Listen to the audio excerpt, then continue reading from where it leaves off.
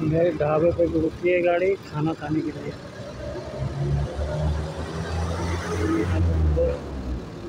खाना वाना खा लिए है अब फिर यहाँ से निकलेंगे, फिर यहाँ से जाएँगे। अब समझ लो बस रुकने वाली नहीं है।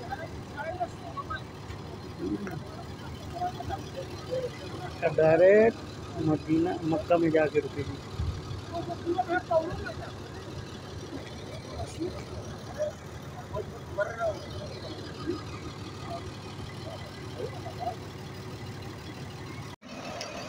इधर इतनी बस लगी है, ढाबे पे आया हूँ।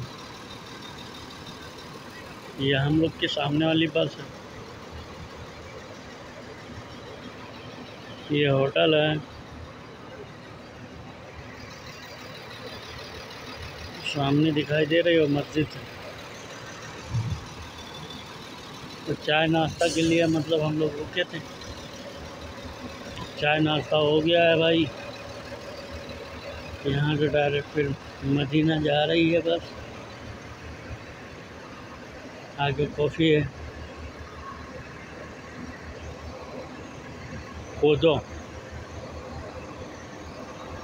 में जो है इतना है कूदो